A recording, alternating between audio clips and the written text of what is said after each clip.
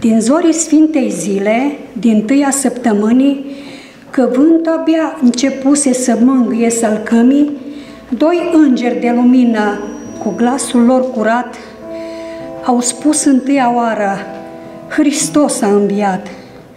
Din toată omenirea unor femei sărace s-a dat din tâi vestirea de glorie și pace. Cu ele, firea întreagă a scos un lung oftat, când îngerii grăiră, Hristos a înviat. Femeile cu teamă se uită în jur deodată, sigiliile rupte și piatra e răsturnată. Și îngerul le spune din nou mai apăsat, De ce vă este teamă? Hristos a înviat! Și ele lasă smirna și vasul cu mireasmă, aleargă în cetate cuprinse de fantasmă, se miră ucenicii, să fie adevărat? Iar ele strigă într-una, Hristos a înviat!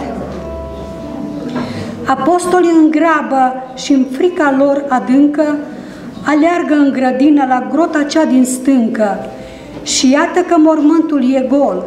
Ce s-a întâmplat? Și îngerii proclamă, Hristos a înviat. Iar undeva în umbră, fugind pe coridoare, cu sutlițele rupte în groaza cea mai mare, soldații de la groapă se adună la palat, îi spun și lui Caiafa, Hristos a înviat.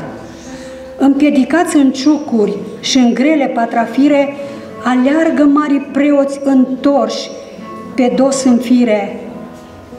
Mânialii se arată în glasul turburat, auzi ce se vorbește, Hristos a înviat. Cu fața în palme, Simon e prins de remușcare și în vremea când el plânge, chiar Domnul îi apare. Îl mângâie în tăcere și stă cu el la sfat și Petru știe sigur, Hristos a înviat.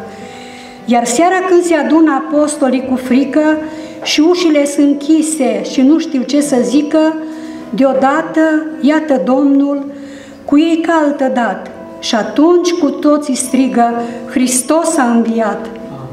Amin. Amin.